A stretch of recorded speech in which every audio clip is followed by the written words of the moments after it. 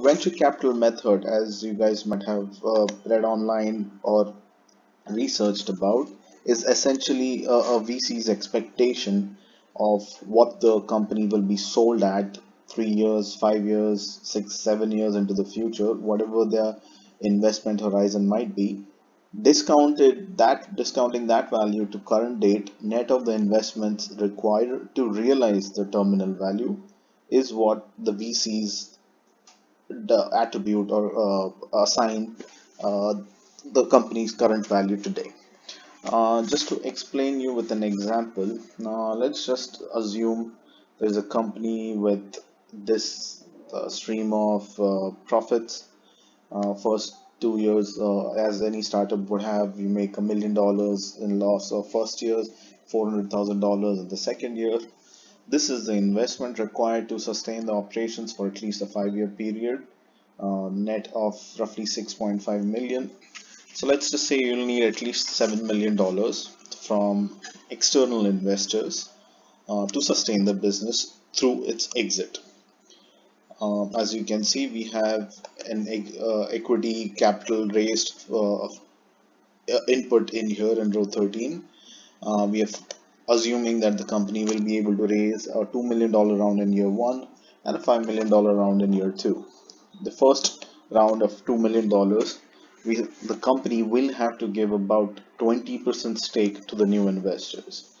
Ergo, if you divide the $2 million by a 20% stake, you get what is what we call a post-money valuation of roughly $10 million. You subtract the 2 million from the post-money valuation is what you'll uh, and you'll arrive at the pre-money valuation of the company. This is uh, what the investors have valued the company at uh, during this round, say Series Seed round. You can do the same analytics uh, in year three when the company is getting a $5 million uh, capital for a 15% stake and the implied post-money valuation would be roughly $33 million. Subtract the investment amount and you get a pre-money valuation. Now let's assume that this company goes for an uh, exit in the form of an IPO, M&A, or some other uh, successful uh, exit scenario and is able to realize a, a multiple a PE multiple or EBR multiple of 15x. So if you divide the uh, year 5 profits by the multiple that this company will be able to realize, you'll get a value of roughly 90 million dollars. Just to keep in mind, this is 19 million at the end of the fifth year, way out in the future, um, you have to the company has to attain certain milestones commercial and financial to realize this value. What an uh, what a VC investor would do you would uh, you'll get the 90 million uh, as your starting point obviously there will be some some extra or ex extraordinary effort going into the multiple that you will uh, use as an input current scenario how the market will change over the few years and what are the other competitors within this space not only today but three years or five years from now is uh, some of the factors that VCs would analyze in assigning a multiple to the terminal value of the company.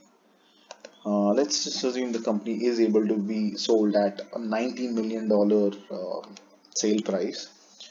Uh, you have to discount it today uh, by the uh, uh, by a risk reward ratio or a discount rate that is reflective of the company's risk today to get to the present value of the company.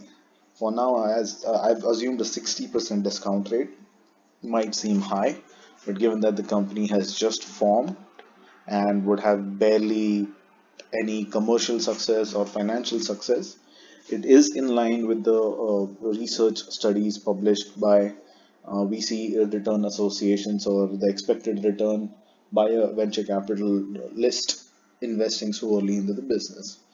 We get a present value of roughly 8.5 million dollars. So you divide 90 million by the number of years uh, by the discount rate, uh, the power of the number of years passed between today and the exit year. Your present value of your exit uh, sale price is 8.5 million dollars but as i uh, said before this 8.5 million dollars will not be realized or the 90 million dollars will not be realized unless you make certain investments for the company to sustain its operations. You have to subtract that investment from the uh, present value of your uh, company's potential exit price to get your net equity value as of today. Uh, one, I, I've kept this calculation simple for now, but ideally you would want to present value 5 million at a different discount rate, so and uh, 2 million dollars at a discount, different discount rate, and 50,000 at a different discount rate. To that extent, uh, your equity value might be a little higher than 1.5 million dollars. Just to keep things simple, I've just subtracted the entire amount.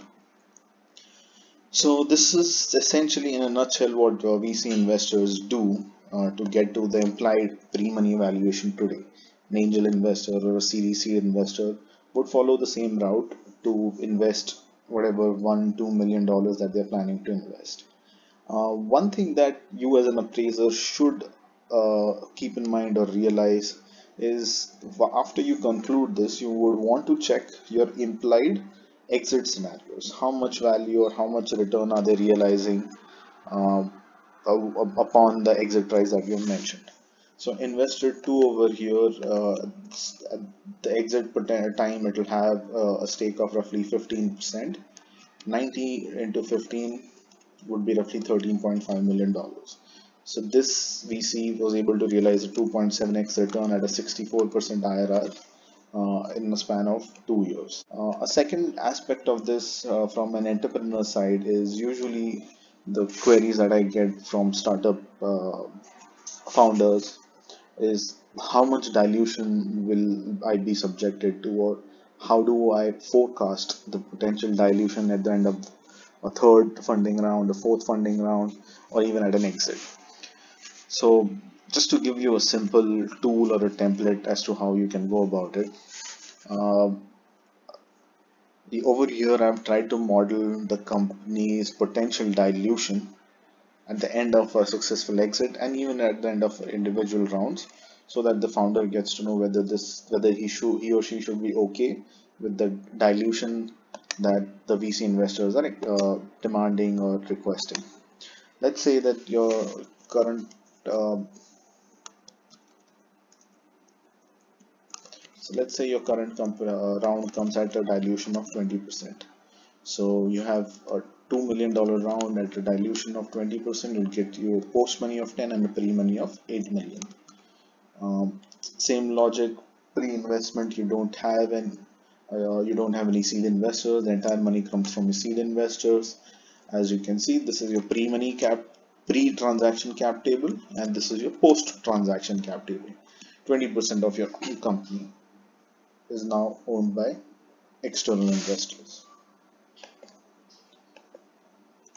Um, let's say the second investment round comes at uh, with a five million dollar uh, investment at a for a 15% dilution. So your post money would be roughly 33 million dollars as we saw earlier, and a pre million of pre money of 28, 33 minus 5. Over here, um, before the transaction was actually uh, just like 80-20 which you saw over here but after the transaction the new investors get 15% which is 5 million divided by the post money amount and the other in, uh, investors including the founders also dilute their stakes so the 80 went down to 67 and 20 went down to 17 you can do this n number of times for a series A, series B, series C, series D to see at how much will each round dilute. You just have a few sets of assumptions that you need to put in and it will be fairly easy for at least uh, to establish a range from a founder's perspective. At the end of the term or uh, the company's life cycle, let's say it's sold at $90 million, you would use the last known cap table that you have uh, after your last transaction 67.9 17 and 15.1 same thing. And then you can assess the potential value that you'll make. It'll be 67 times. You can assess what the value would be at the end of the uh, exit period. Be 67.9 times 90 million dollars. So your expect you could potentially realize roughly 61 million dollars in uh, proceeds. So that's the venture capital method and the dilution approach. That Hope you guys enjoyed the video. Please like and subscribe and share the uh, knowledge amongst your friends and peers.